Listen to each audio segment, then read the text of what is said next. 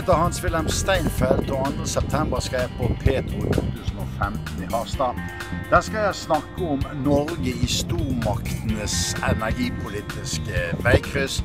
Barentsregionen som fremdeles rommer 25 av verdens olje- og gassreserver.